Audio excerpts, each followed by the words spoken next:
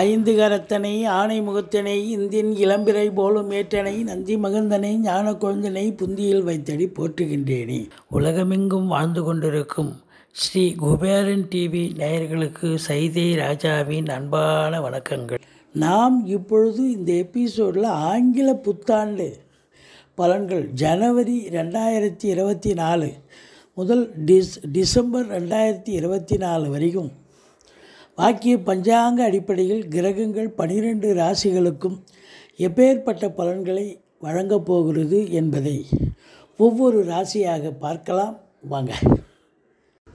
கார்த்திகை நட்சத்திரத்தில் பிறந்தவர்களுக்கு பார்த்தீங்கன்னா கார்த்திகை முதல் பாதம் மேஷ ராசியில் இருக்கும். கார்த்திகை இரண்டு மூன்று நான்கு பாதங்கள் ரிஷப ராசியில் வரும். இதை பொறுத்தவரையிலையும் இந்த மேஷ ராசியினுடைய பலன் ரிஷபராசினுடைய மொத்த பலன் தான் கார்த்திகை நட்சத்திரம். ஒன்றாம் பாதம் ரெண்டாம் பாதம். ஏன்னா ஒவ்வொரு நட்சத்திரத்துலேயும் ப- பிறந்தவங்க இருப்பீங்க இல்லையா? அப்போது இந்த ரெண்டாயிரத்தி இருபத்தி நாலு எப்படி இருக்க போகுது அப்படின்னு பார்த்தீங்கன்னா ரொம்ப அமக்கலமாக இருக்குங்க. இந்த ரெண்டாயிரத்தி இருபத்தி நாலு உங்களுக்கு ஒரு பொற்காலமாக அமையப்போகிறது வாங்க ராசிக்குள் செல்லலாம். இந்த இருபத்தி ஏழு நட்சத்திரத்தில் இந்த கார்த்திகை வந்து பார்த்திங்கன்னா மூணாவது நட்சத்திரம். சூரிய பகவானுடைய நட்சத்திரம். மேஷ ராசி காலபுருஷனுக்கு முதல் ராசி. இந்த மேஷ ராசியில் பார்த்திங்கன்னா அஸ்வினி ஒன்று ரெண்டு மூணு நாலு பாதங்கள். பரணி நட்சத்திரம் ஒன்று இரண்டு மூன்று நான்கு பாதங்கள். சூரியனுடைய நட்சத்திரமான கிருத்திகை நட்சத்திரம் முதல் பாதம் வரைக்கும் உள்ளடக்கியது. இப்போது இந்த மேஷ ராசி அப்படின்னும் பொழுது மேஷ ராசிக்கு இந்த புத்தாண்டு பலன்கள் எப்படி இருக்க போகுது? இந்த ஓராண்டு ரெண்டாயிரத்தி இருபத்தி நாலு முதல் ரெண்டாயிரத்தி இருபத்தி ஐந்து வரைக்கும் அப்படின்னு பார்த்தீங்கன்னு சொன்னால் வருட கிரகங்களை நாம் ஆண்டு கிரகங்களை தான் நம்ம கையில் எடுக்கணும். சனி பகவான் பொறுத்தவரையிலையும் இந்த ஆண்டு முழுவதும் அவர் கும்பத்தில் தான் இருக்கிறார். ராகு பகவான் இப்போ தான் பயிற்சியானார் அப்போ அவர் மீனத்தில் இருக்கிறார். ஒன்றும் பிரச்சனை இல்லை. இதில் ராகு வந்து நூறு சதவீதம் பிரச்சனை இல்லை. சனி பகவான் கும்பத்தில் இருந்தாலும் அவர் வக்ரம் பெறுகிறார்.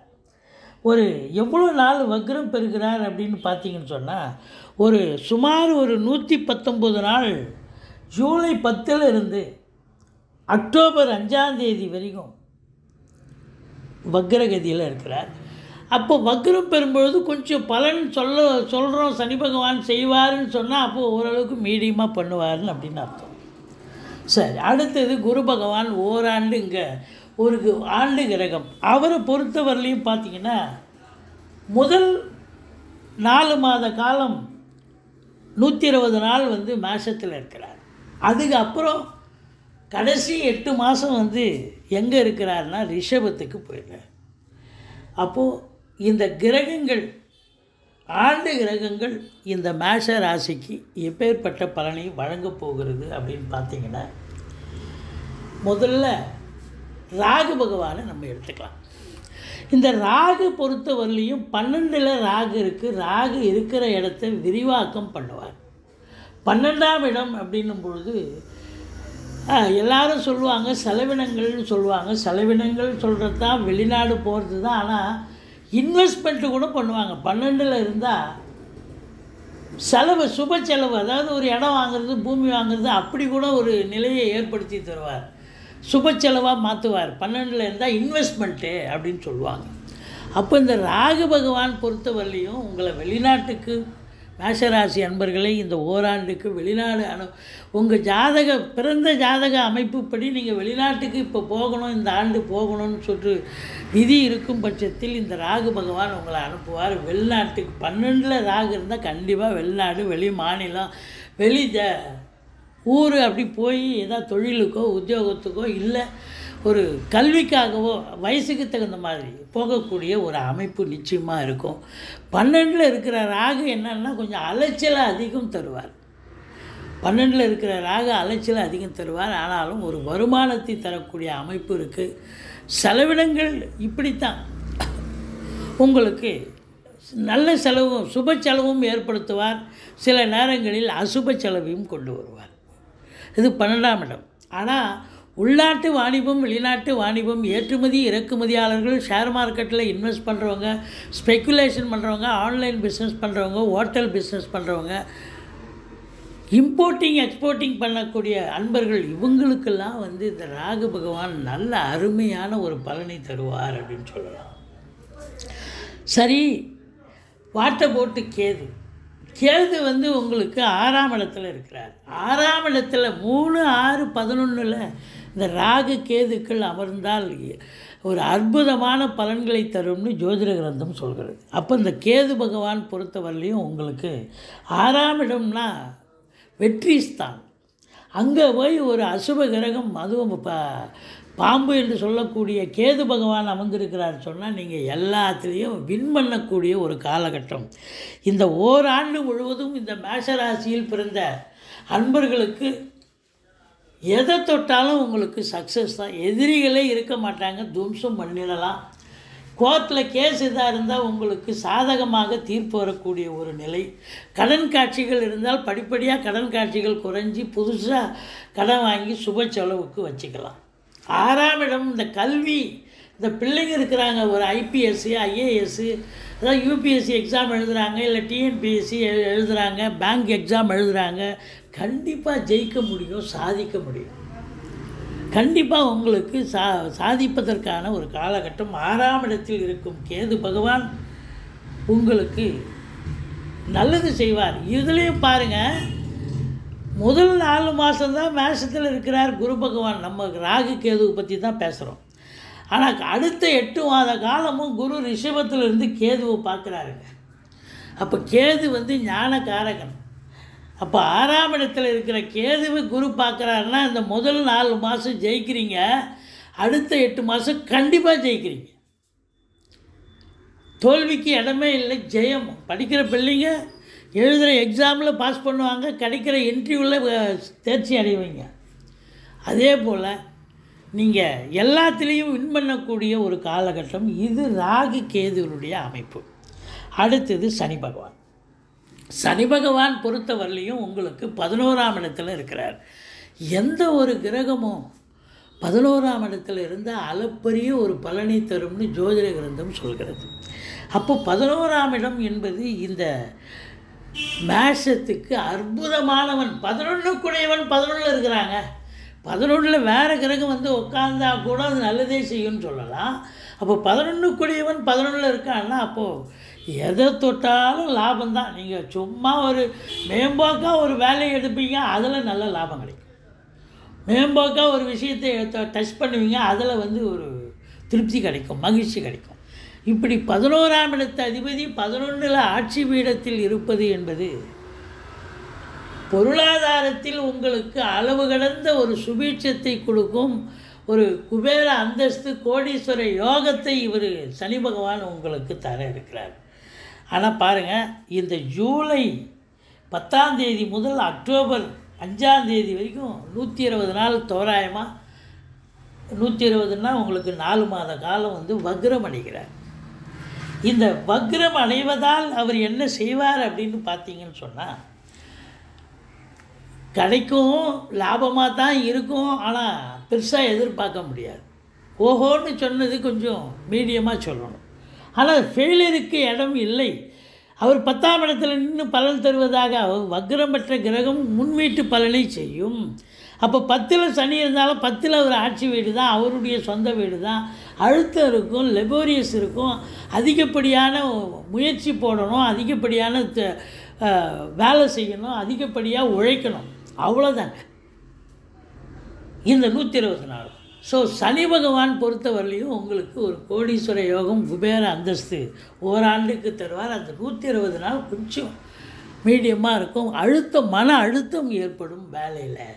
தொழிலில் அதிகப்படியான லெபோரியஸ் தேவைப்படுகிறது அப்படின்னு நம்ம சொல்கிறோம் அடுத்தது இந்த குரு பகவான் பொறுத்தவரையிலையும் உங்களுக்கு மேஷத்தில் இருக்கிற ஜென்ம குரு எப்போவுமே பிரச்சனையை தான் கொடுப்பார்.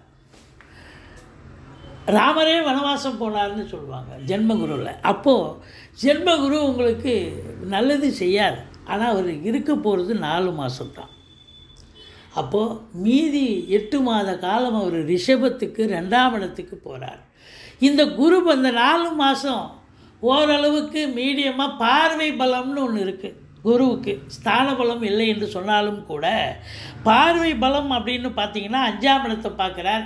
பிள்ளைகளுடைய வளர்ச்சி கல்வி உயர்கல்வி வெளிநாட்டு கல்வி. உள்ள பூர்வீகத்தில் ஒரு நல்ல தகவல் வர்றது குழந்தை பாக்கியம் இல்லாதவர்களுக்கு குழந்தை பேர் கிடைக்கிறது. பூர்வீக சொத்தே கிடைக்கல இப்போ தான் நான் வாங்க போகிறேன் இந்த நாலு மாதத்தில் வாங்கிக்கலாம். ஸோ அப்படி செய்வார். ஏழாம் இடம் திருமண வயதில் இருக்கும் அன்பர்களுக்கு இந்த நாலு மாதத்தில் மேசராசி அன்பர்களுக்கு திருமணத்தை சட்டுப்புட்டுன்னு அது திருமணம் நடக்கிறதுனால ஒரு நிச்சயதாம்பலமாக தான் ஆகிடும் நண்பர்கள் வட்டாரம் விரிவடையும் நண்பர்களால் நல்லதே நடக்கும் கூட்டு தொழில் சிறந்து விளங்கும். அதுக்கு அடுத்தது ஒன்பதாம் இடத்தை பார்ப்பார் வெளிநாடு போகலாம் தந்தையால் அனுகூலம். ஆன்மீகத்தில் அதிக நாட்டம் இருக்கும் அப்படின்னு சொல்லலாம். இது ஒரு நாலு மாதம் அதாவது ஸ்தான பலம் குருவுக்கு இல்லை. பிரச்சனை தான் ஆனால் பார்வை பலத்தால் இந்த மூணு இடத்த அஞ்சு ஏழு ஒன்பது பார்க்குறாரு இல்லைங்களா? சிம்மத்தையும் துலாத்தையும் தனுசையும் பார்க்கறதுனுடைய பலனை சொன்னோம். இப்போ எட்டு மாத காலம் அவர் வந்து எங்கே வராருன்னா ரிஷபத்துக்கு வரார். ஒரு ரெண்டாம் இடத்துல குரு வர்றது சிறப்புங்க. குரு பகவான் தனகாரகன் தனஸ்தானத்தில் இருந்தால் தன பிராப்தி உண்டு. இந்த மேஷராசி அன்பர்களுக்கு பல மழை பொழியும். கொட்டோ கொட்டுன்னு கொட்டும்.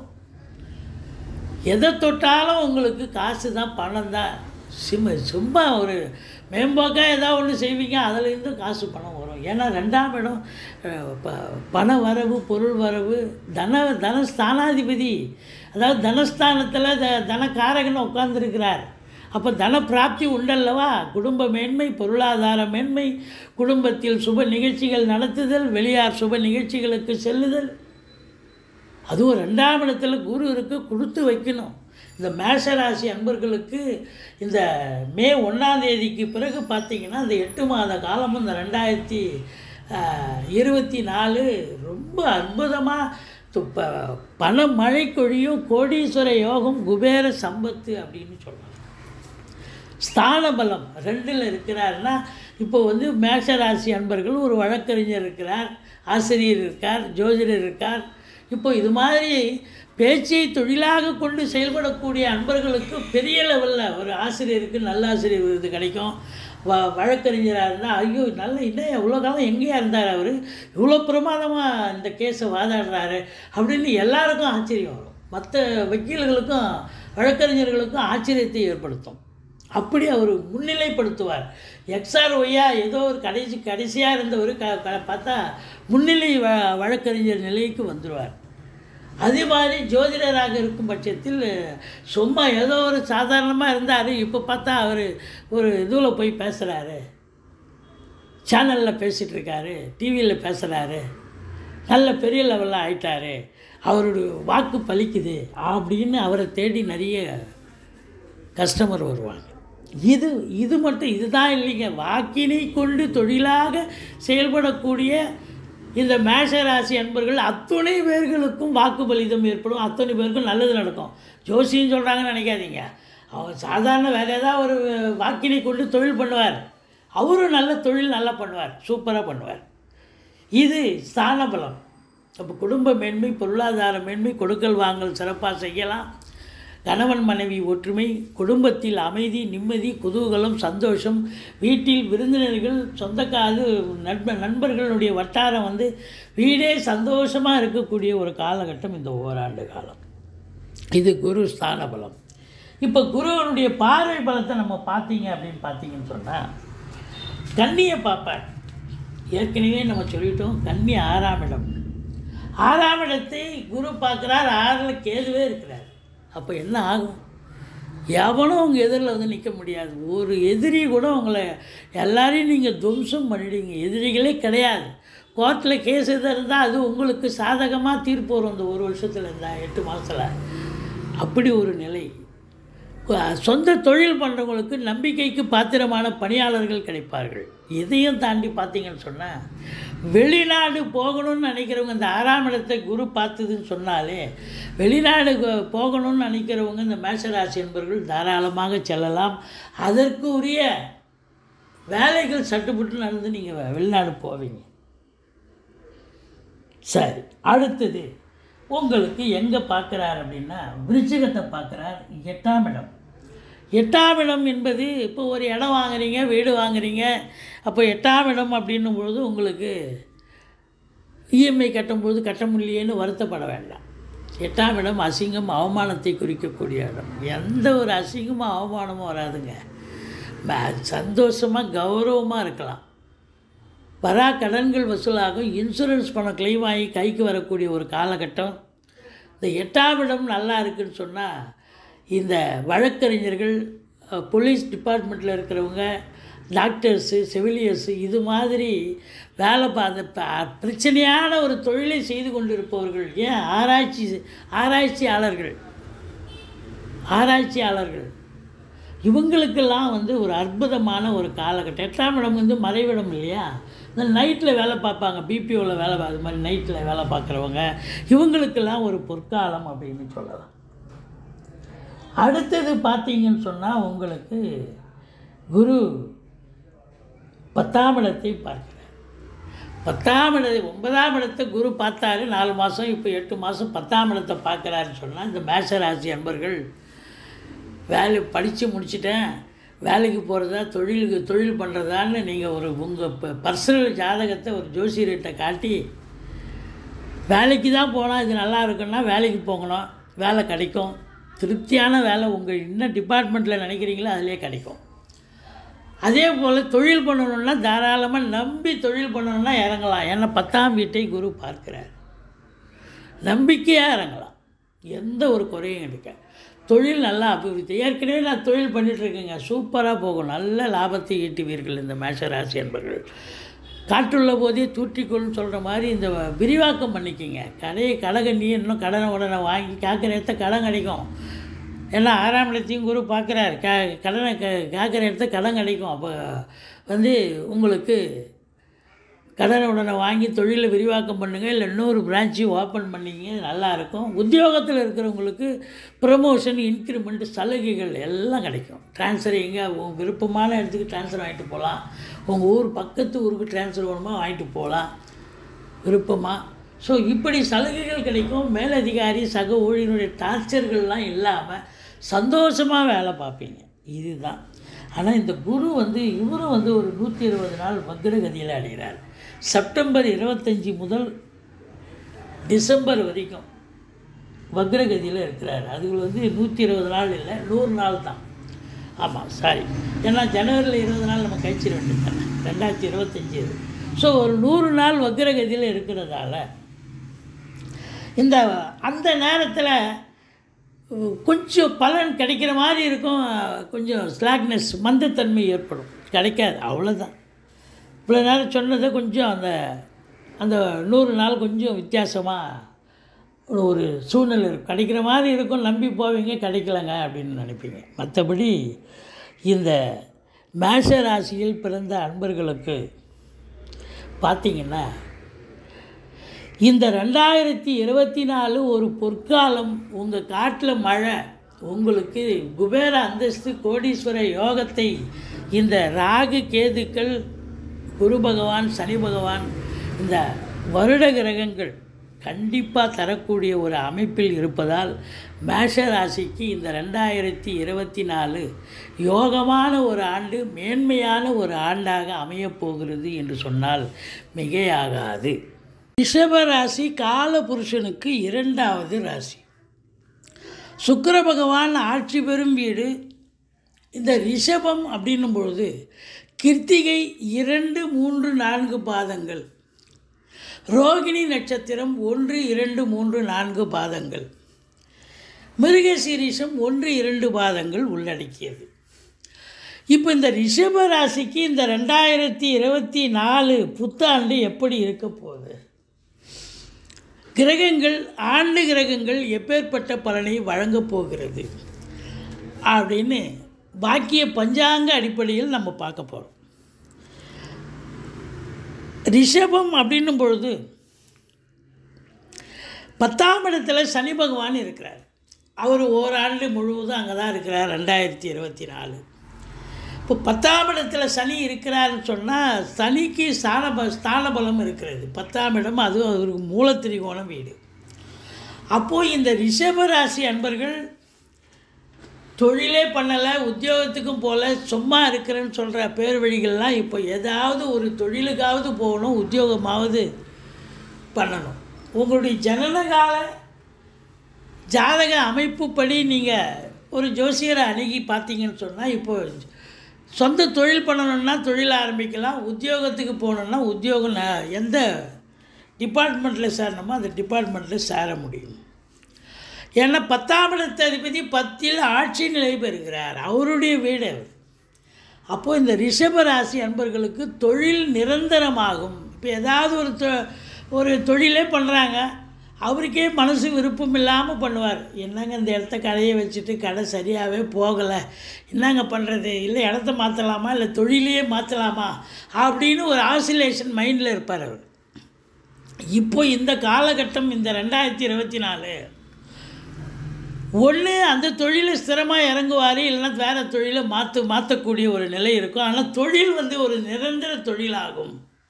ஏதோ ஒரு தொழில் நிரந்தரமாக பண்ண போகிறீங்க ஏற்கனவே தொழிலில் இருக்கிறவங்க என்ன பண்ணுறாங்க அப்படின்னு சொன்னால் நம்பி கடன் வாங்கி தொழிலில் போடுங்க. கேட்குற இடத்துல கடன் கிடைக்கும். வங்கி த ம- மற்றும் அரசு மூலியமாக கடனுதவி பெற்று தொழிலை விரிவாக்கம் செய்வது அல்லது தொழிலை மாற்றி அமைப்பது. தொழில் ரீதியாக உங்களுக்கு ஒரு அமக்கலமான ஒரு பலன்கள் கிடைக்கப் போகிறது இந்த ரிஷபராசி அன்பர்களுக்கு இந்த ஓராண்டும். தொழில் ஏனோ தானோன்னு போகாமல் நல்ல சூடு பிடிச்சி நல்ல சம்பாத்தியத்தை பார்க்க போகிறீங்க தொழிலை விரிவாக்கம் பண்ணுங்கள் இன்னொரு பிரான்ச்சு ஓப்பன் பண்ணுங்கள் நல்ல தொழில் ரீதியாக நல்ல சம்பாத்தியத்தை பெற்று ஓஹோன்னு இருக்க போகிறீங்க காசு பணம் புரளப் போகிறது வங்கி கணக்கு உயரப்போகிறது இந்த சனி பகவான் அப்படின்னும் பொழுது அவருடைய பார்வை அப்படின்னு பார்த்தீங்கன்னு சொன்னால் உங்களுக்கு மூணாம் பார்வையாக மேஷத்தை பார்ப்பார். அப்போது மேஷம் அப்படின்னா உங்களுக்கு மே ஒன்றாம் தேதிக்கு ரிஷபத்துக்கு போயிடுறாரு குரு பகவான். அப்போ போனதுக்கு அப்புறம் இப்போ அந்த மேஷம் வீடு எம்டி ஆகும். இப்போ குரு இருக்கிற வரைக்கும் சனி பார்த்தா ஒன்றும் பண்ண முடியாது ஒன்றும் செய்யாது. ஆனால் எந்த க- கிரகமும் குரு மாறிடுறார் இல்லையா? இப்போ சனி பார்வை அப்போ பன்னெண்டாம் இடத்தை பதியுது அப்படின்னாக்கா டென்ஷன் ஆகிடுவீங்க தூக்கம் வராது. வேளா வேலைக்கு சாப்பிட முடியாது. இந்த நாலு மாதத்துக்கு அப்புறம். இந்த குரு வந்து ரிஷபத்துக்கு சென்றதுக்கு அப்புறம். அப்போது உங்களுக்கு பார்த்தீங்கன்னா டென்ஷனாக இருப்பீங்க. தூக்கம் வராது. வேளா வேலைக்கு சாப்பிட முடியாது. செலவினங்கள் ஏற்படும். அது சுப செலவாகவும் இருக்கலாம். அசுப செலவாகவும் இருக்கலாம். மற்றபடி பார்க்கும் பொழுது இந்த சனி பகவான் மூலத்திரிகோண வீடு ஆட்சி வீடாக இருக்கிறதால கண்டிப்பாக அவர் வந்து இந்த ரிஷப ராசிக்கு யோகாதிபதி என்று சொல்லக்கூடியவர். நிச்சயமாக உங்கள் காட்டில் மழை நீங்கள் நல்ல சம்பாத்தியம் பண்ண போகிறீங்க இந்த சனி பகவான் பொறுத்தவரையிலையும் ஒரு பெரிய சம்பாத்தியத்தை ஏற்படுத்தி தருவார். டெம்பரரி போஸ்ட்டில் இருப்பாங்க. கவர்மெண்ட்லேயோ இல்லை இப்போ ப்ரைவேட்லேயோ அவங்களுக்கு நிரந்தரமாக ப ப- பணி கிடைக்கும். அதுபோல் எங்கேயாவது ஒரு இடத்துல தேவையில்லாமல் ஒரு இடத்துல வேலை பார்ப்பாங்க. டென்ஷனாக மேலதிகாரி சக ஊழியருடைய டார்ச்சரில் இப்போ பார்த்தா ட்ரான்ஸ்ஃபர் வாங்கிட்டு நல்ல இடமா சந்தோஷமாக வேலை பார்ப்பீங்க. அரசு அரசு அதிகாரிகள் அரசு கடைநிலை ஊழியர்கள் இன்னும் பிற அரசு ஊழியர்கள் அனைவர்களுக்கும் சலுகைகள் கிடைக்கும். சம்பாத்தியம் நல்லா சிறப்பாக இருக்கும். உங்களுக்கு வந்து சந்தோஷமாக வேலை பார்ப்பீங்க. அதாவது ப்ரொமோஷன் எதிர்பார்த்து காத்திருக்கிறவங்களுக்கு ப்ரொமோஷன் இன்க்ரிமெண்ட் எதிர்பார்த்து காத்திருக்கிறவங்களுக்கு இன்க்ரிமெண்ட்டு ட்ரான்ஸ்ஃபருக்காக காத்திருக்கிறவங்களுக்கு ட்ரான்ஸ்ஃபர் இப்படி நல்லது நடக்கும். உத்தியோகம் கூட உங்களுக்கு புதுசாக இப்போ முயற்சி பண்ணுறவங்க உத்தியோகத்துக்கு முயற்சி பண்ணலாம். கண்டிப்பாக நல்லது நடக்கும். இந்த சனி பகவான் இரும்பு காரகத்துவம். அப்போ பார்த்தீங்கன்னு சொன்னால் சின்ன லேத் ஃபேக்ட்ரிலேருந்து பெரிய கம்பெனி வரைக்கும் இரும்பு இல்லாத உபகரணம் இல்லை. அப்போது இந்த லேக் ஃபேக்ட்ரிலேருந்து பெரிய கம்பெனி வரைக்கும் பார்த்தீங்கன்னா தொழிலாளிகள் நல்ல ஒரு சந்தோஷமாக வேலை பார்ப்பீங்க. இன்வால்மெண்ட்டாக வேலை பார்த்து நல்ல சம்பாத்தியம் நல்ல ஊக்கத்தொகைகள் கருணை தொகைகள் கண்டிப்பாக கிடைக்கும். நல்ல சம்பாத்தியம் சந்தோஷமாக இருக்க போகிறீங்க அப்படின்னு சொல்லலாம். அடுத்தது ராகு கேதுக்களை எடுத்துக்கொள்ளலாம் ராகு பொறுத்தவரையிலையும் பதினோராம் இடத்தில் இருக்கார். அட அட சூப்பருங்க. பதினொன்றில் மூணு ஆறு பதினொன்றில் ராகு கேதுக்கள் இருந்தால் அளப்பரிய ஒரு பலனை எதிர்பார்க்கலாம். கோடீஸ்வர யோகம் குபேர அந்தஸ்தை எதிர்பார்க்கலாம். ப பணம் பல வகையில் வந்து கொட்டும். பண மழை பொழியும். உங்களை பொறுத்தவரையிலையும் சிறப்பாக இருக்கும். அதுவும் உள்நாட்டு வாணிபம் வெளிநாட்டு வாணிபம். ஏற்றுமதி இறக்குமதியாளர்கள் ஷேர் மார்க்கெட்டில் இன்வெஸ்ட் பண்ணுறவங்க ஸ்பெக்குலேஷன் பண்ணுறவங்க ஆன்லைன் பிஸ்னஸ் பண்ணுறவங்க ஹோட்டல் பிஸ்னஸ் பண்ணுறவங்க அது குறிப்பாக வந்து ஏற்கனவே வெளிநாட்டில் இருக்கிறேன்னா இன்னொரு வெளிநாட்டுக்கு போய் அங்கே சம்பாத்தியம் பண்ணக்கூடிய ஒரு நிலை இருக்கும். இந்த இம்போர்ட்டிங் எக்ஸ்போர்ட்டிங் பிஸ்னஸ் பண்ணுறவாளுக்கெல்லாம் ரொம்ப சிறப்பான ஒரு ஒரு ஆண்டு இந்த ஆண்டு இந்த ரிஷபராசி அன்பர்களுக்கு. இந்த பதினொன்றில் இருக்கும் ராகு பகவான் உங்களை கோடீஸ்வர யோகத்தை தருவார் குபேர அந்தஸ்தை தருவார். தொட்டதெல்லாம் தொழுங்கும் வெளிநாடு போகணும் ரிஷபராசி அன்பர்கள்லாம் தாராளமாக போங்க. நல்ல சம்பாத்தியம் பண்ணலாம். இல்லை அங்கே போய் தொழில் பண்ணாமா தொழில் பண்ணலாம். இல்லை உ- உயர்கல்விக்காக போகிறீங்களா தாராளமாக போகலாம். அப்படி ஏன்னா அவர் மூணு மூணு பதினொன்று பார்வை இருக்குல்ல ஒன்பதாம் இடத்தையும் பார்க்குறாருல்ல அப்போ உயர்கல்விக்காக கூட போகலாம் நீங்கள் எதுக்கு சென்றாலும் உங்கள் அபிலாஷை இனிதே நிறைவேறும். அற்புதமான காலங்கள். இந்த ரிஷப ராசிக்கு ஒரு திருப்பு முனை வந்தாச்சுன்னே சொல்லலாம். ராகு கேது பயிற்சியால் இந்த ராகு பகவான் ஒருவரே போதும் உங்களுக்கு. நீங்கள் ஒரு நூறுரூபா எதிர்பார்க்குற இடத்துல ஒரு நூறுரூபா கட்டே கிடைக்கும். அப்படின்னா என்ன அர்த்தம்? அந்த அளவுக்கு ஒரு பெரிய வருமானத்தை எதிர்பார்க்கக்கூடிய எதிர்பார்க்குறத விட எதிர்பார்த்ததை விட ரெட்டிப்பு மடங்கு மூணு மடங்கு நாலு மடங்குலாம் கிடைக்கும். ராகு வந்து கொட்டி கொடுப்பார். பிரம்மாண்ட நாயகன்னு பேர் ராகுக்கு. அவர் போய் பதினொன்றில் உட்காந்துருக்காருன்னு சொன்னால் அட அட அட. சூப்பர் இந்த ரிஷபராசி அன்பர்கள்லாம் பார்த்தீங்கன்னா இந்த ரெண்டாயிரத்தி இருபத்தி நாலு பொற்காலம் உங்கள் காட்டில் மழை.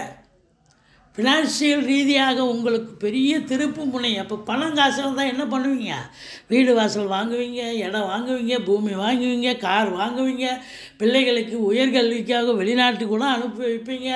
பெரிய படிப்பு டாக்டரி டாக்டரேட்டு எம்பி எம்பிஏ எம்பி அது எம்இ இப்படி பெரிய படிப்புலாம் படிக்க வைக்கக்கூடிய ஒரு அமைப்பு உங்களுக்கு உற்சாகம் வரும். உத்வேகம் ஏற்படும். பசங்களை படிக்க வைக்கணும் அப்படின்னு. அதே நேரத்தில் பார்த்தீங்கன்னு சொன்னால் காரு பங்களான்னு பெரிய லெவலில் ரீச் ஆவீங்க நல்ல சம்பாத்தியம் வரக்கூடிய சம்பாத்தியம் ரொம்ப அப்டார்மலாக இருந்தால் என்ன ஆகும் நீங்கள் நல்ல ஒரு சொஃபஸ்டிகேட்டடாக சம்பாதிக்க முடியும். அதுவும் இந்த ராகுனுடைய காரகத்துவம் இந்த கம்ப்யூட்ரு லேப்டாப்பு இந்த டெக்னாலஜி வைஸ் இந்த அவங்க தொழில் பண்ணுறாங்க பாருங்கள் இவங்களுக்கெல்லாம் பார்த்திங்கன்னா ரொம்ப சிறப்பாக இருக்கும். நல்ல சம்பாத்தியத்தை பார்க்க போகிறாங்க அப்படின்னு சொல்லலாம். சரி வாட்டர் போட் கேது. கேது அஞ்சாம் இடத்துல இருக்கார். அஞ்சில் கேது வந்தால் பிரச்சனை தாங்க. பிரச்சனை அப்படின்னு சொன்னால் எவ்வளோ காலத்துக்கு பிரச்சனைன்னா ஒரு நாலு மாத காலத்துக்கு தான் பிரச்சனை. ஏன் சார் அதுக்கப்புறம் பிரச்சனை இல்லையா? இந்த நாலு மாதம்தான் மேஷத்தில் இருக்கிறார் குரு. அதுக்கப்புறம் ரிஷபத்துக்கு வந்து அஞ்சாம் பார்வையாக பார்ப்பார். அப்போ இந்த நாலு மாத காலம் பிள்ளைகளுக்கும் உங்களுக்கும் கருத்து வேறுபாடு வரும். இந்த நாலு மாதத்துல பூர்வீக சொத்தில் வாங்கி வச்சிருக்கிற சொத்து பத்தில் பிரச்சனைகள் வரலாம். குழந்தை பாக்கியத்துக்காக போரா முயற்சி பண்ணக்கூடிய காலகட்டம். இப்படி சொல்லலாம். இந்த அஞ்சில் கேது இருந்தால் அஞ்சாம் இடம் குலதெய்வத்தின் அனு அனுகிரகம் உங்களுக்கு சிறப்பாக கிடைக்கிறதுக்கு நீங்கள் குலதெய்வ வழிபாடு பண்ணணும். அஞ்சில் கேது இருந்தால் கெடுத்துருவார். ஆனால் அதுக்கப்புறம் மே ஒன்றாந்தேதிக்கு பிறகு ஒரு எட்டு மாத காலங்கள் குரு பார்வை அடாடா. அப்படியே உள்டாவா சொல்லணும். பூர்வீக சொத்து கிடைக்கும். குழந்தை குழந்தை பாக்கியம் இல்லாதவர்களுக்கு ஏன்னா கேது உட்காந்துருக்கார் வித் ஹெல்ப் ஆஃப் மெடிசன் மருத்துவத்தின் உ- உதவியோடு குழந்தை பாக்கியம் கிடைக்கும். பிள்ளைகளுடைய உயர்கல்வி மிகச் சிறப்பாக இருக்கும். அஞ்சாம் இடம். ரொம்ப சந்தோஷமான இருக்கக்கூடிய இடங்க. அந்த என்ன சொல்கிறாங்க ஷேர் மார்க்கெட்டு இதெல்லாம் இதெல்லாம் கொஞ்சம் காசெல்லாம் போட்டு நல்லா சம்பாத்தியம் பண்ணுவீங்க. சந்தோஷமாக செயல்படுவீங்க.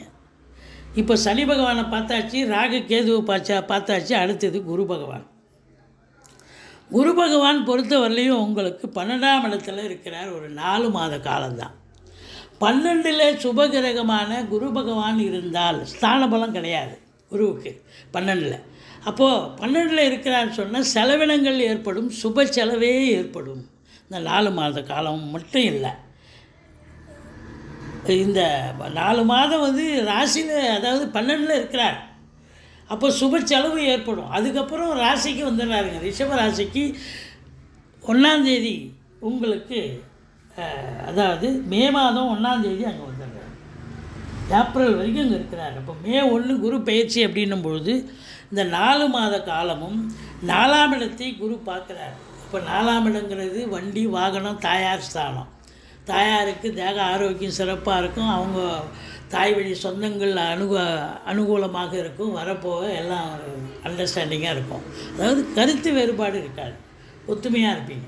அடுத்தது வண்டி வாகனங்கள் புதுசாக வாங்குவீங்க வீடு வாங்குவீங்க மனை வாங்குவீங்க தோட்டம் வாங்குவீங்க துறவம் வாங்குவீங்க ஃப்ளாட்டு வாங்குவீங்க இடம் வாங்கி வீடு கட்டுவீங்க. நாலாம் இடம்ல குரு பார்க்குறாரு அந்த நாலு மாதத்தில் நீங்கள் கண்டிப்பாக அதெல்லாம் செய்வீங்க. அதுக்கப்புறம் பார்த்தீங்கன்னு சொன்னால் ஏழாம் இடத்தை குரு பார்க்குறாரு. அதாவது நாலாம் இடத்தை குரு பார்க்குறார் அடுத்தது ஆறாம் இடத்தை குரு பார்க்குறார். ஆறாம் இடம் எதிரிகள் ஓடி ஒளிவார்கள் கடன் சுமை படிப்படியாக குறையும் கோர்ட்டில் கேஸ் இதாக இருந்தால் சாதகமாக தீர்ப்பு வரும். வெளிநாடுக்கு போகிறவங்க தாராளமாக போகலாம் நம்பி போகலாம். அடுத்தது பார்த்தீங்கன்னு சொன்னால் உங்களுக்கு அந்த குரு எட்டாம் வீட்டை பார்க்குறார். திடீர் அதிர்ஷ்ட வாய்ப்புகள் யோகங்கள் சரி இடம் வாங்கிட்டோம் வீடு வாங்கிட்டோம் இஎம்ஐ கட்ட முடியுமா முடியாதா? அதெல்லாம் வந்து பயமே வேண்டாம். எட்டாம் இடத்தை குரு பார்க்குறாருன்னு சொன்னால் தாராளமாக எதையும் நீங்கள் சாதிக்கக்கூடிய ஒரு வல்லமை கண்டிப்பாக கிடைக்கும். அசிங்க அவமானம் கிடையா ஏற்படாது. வாரி அதாவது வாரிசு இல்லாத குடும்பங்களுக்கு உங்களை வாரிசாக நியமித்து அவங்களுடைய சொத்து பத்து நகை நட்டு லிக்விட் கேஷ் உங்கள் பெயருக்கு மாற்றி எழுதக்கூடிய விபரீத ராஜயோகம் ஒரு சிலருக்கு அமையும். எட்டாம் இடம் ஆராய்ச்சி கல்வி படிக்கிறாங்க பாருங்கள் வெளிநாட்டில் போய் இல்லை உள்நாட்டிலேயே டாக்டரு டாக்டரேட்டு ஆராய்ச்சி கல்வி பிஹெச்டி எம்ஃபில் இப்படி இந்த ஆராய்ச்சி கல்வி படிக்கக்கூடியவர்களுக்கு ஒரு பொற்காலம் நினச்சதை சாதிக்க முடியும் வெற்றி பெற முடியும். அப்புறம் இன்வெஸ்டிகேஷன் பண்ணுறாங்க பாருங்கள் இந்த போலீஸு உளவுத்துறை இவங்களுக்கெல்லாம் ரொம்ப சிறப்பான காலகட்டம். அவங்களுடைய திறமையை வெளிப்படுத்தி ஒரு ரெகக்னேஷன் கிடைக்கக்கூடிய காலகட்டம். அடுத்தது குரு பகவான் மே ஒன்றாந்தேதி ரிஷபத்துக்கு வரார். ரிஷபம் அப்படின்னும் பொழுது இந்த எட்டு மாத காலம் ரிஷப ராசிக்கு நல்லது செய்யுமான் ஜென்ம குரு பிரச்சனையே தரும்.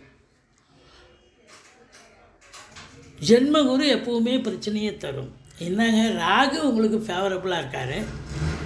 கேது வந்து அன்ஃபேவரு சனி பகவான் சனி பகவான் ஃபேவரபுளாக இருக்கார். Rahu favourable Shani favourable Ketu unfavour இப்போ குரு வந்து ஸ்தான பலம் அன்ஃபேவர் ஃபேவரபுள் கிடையாது. ஜென்ம குரு வனவாசம் பிரச்சனை. ஆனால் ஸ்தா பார்வை பலம் கோடி பலம் தரும் அப்படின்னு சொல்லலாம். ரிஷபத்துக்கு பார்த்தீங்கன்னா இது எட்டுக்கும் பதினொன்றுக்கும் ஆதிபத்தியம்தான் குரு. அதனால் இவர் பெருசாக ஒன்றும் ரிஷபத்துக்கு தந்துட மாட்டார். ஆனால் பார்வை சுப பார்வை கண்டிப்பாக கிடைக்கும்.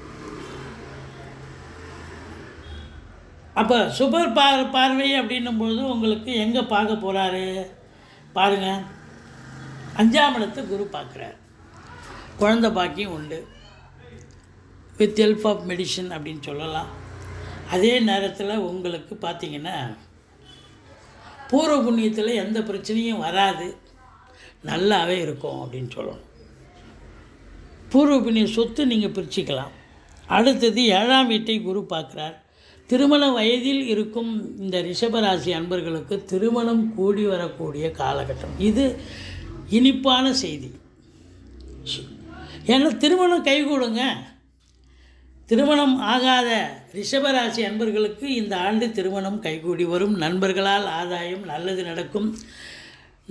கூட்டாளிகள் தொழில் கூட்டாளிகளால் தொ கூட்டு தொழில் சிறந்து விளங்கும். அவங்களும் ஆதரவாக இருப்பாங்க. ஏன்? வேலை பார்க்குற இடம் தொழில் பார்க்குற இடம் அக்கம் பக்கம் நட்பு வட்டாரம் சொந்த பந்தம் எல்லோரும் உங்களுக்கு ஆதரவாக இருப்பார்கள் என்று சொன்னால் மிகையாக கணவன் மனைவி ஒற்றுமை சந்தோஷம் குதூகலம் எது எப்படி இருந்தாலும் அதெல்லாங்க முக்கியம்.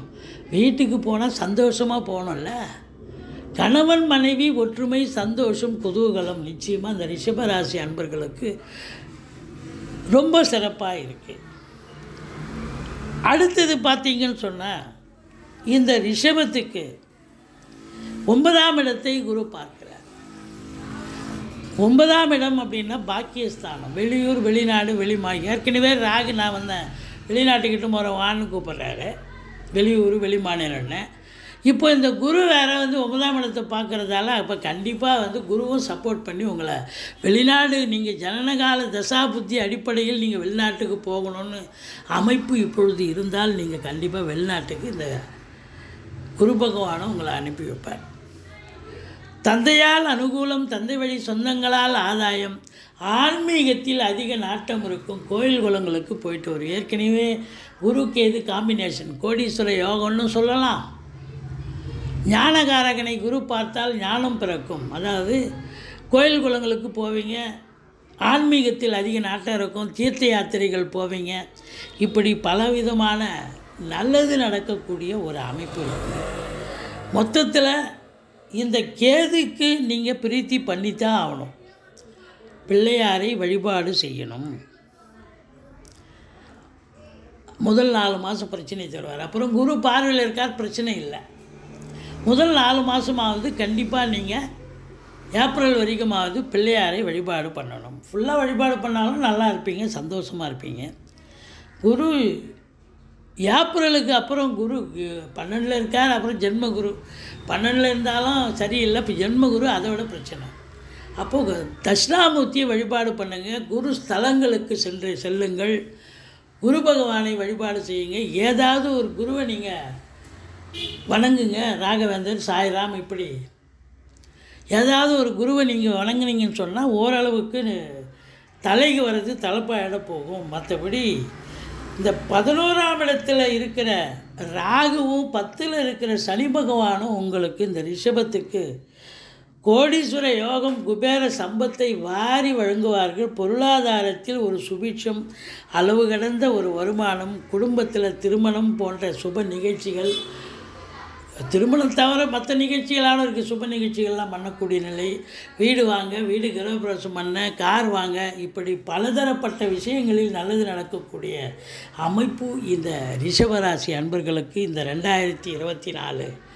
ஓஹோன்னு இருக்கும் சிறப்பாக இருக்கும். உங்கள் காட்டில் மழை பொற்காலம் என்று சொன்னால் மிகையாகாது. கார்த்திகை நட்சத்திரத்தில் பிறந்தவர்கள் ஒன்றாம் பாதம் மேஷராசி. ரெண்டு மூன்று நான்கு பாதங்களில் பிறந்தவர்களுக்கு ரிஷபராசி. இந்த மேஷராசி ரிஷபராசி இந்த பலன்களை நீங்கள் ரெண்டாயிரத்தி இருபத்தி நாலாம் ஆண்டு ஆண்டு கிரகங்கள் எப்பேற்பட்ட பலனை வழங்கப் போகிறதுன்னு உன்னிப்பாக கேட்டீங்க பார்த்தீங்க. ரொம்ப அமக்கலமாக இருக்க போது உங்களுக்கு ஒரு திருப்பு முனை ஏற்படுத்த போகிறது. சந்தோஷமாக இருக்க போகிறீங்க குடும்பத்தில் நிம்மதி சந்தோஷம் குதூகலம் ஏற்பட போகிறது அப்படின்னு சொல்லணும். ரொம்ப சிறப்பாக இருக்குங்க. திருமணம் ஆகாதவர்களுக்கெல்லாம் திருமணம் கைகூடி வரக்கூடிய ஒரு அமைப்பு குடும்பத்தில் சுப நிகழ்ச்சிகள் நடத்தக்கூடிய ஒரு அமைப்பு இருக்குங்க. தொழிலில் உத்தியோகத்தில் சிறந்து விளங்கி நல்ல ஒரு சம்பாத்தியம் கோடீஸ்வர யோகம் குபேர அந்தஸ்து பெறக்கூடிய ஒரு புரட்சிகரமான சந்தோஷகரமான மறக்க முடியாத ஒரு ஆண்டாக விளங்கப் போகிறது என்று சொன்னால் மிகையாக ஸ்ரீ குபேரன் டிவியை பார்த்தமைக்கு நன்றிகள். மேலும் இது போன்ற தகவல்களை தெரிந்து கொள்ள ஸ்ரீ குபேரன் டிவியை சப்ஸ்கிரைப் செய்யுங்கள். மறக்காமல் பெல் ஐக்கானை கிளிக் செய்யுங்கள்.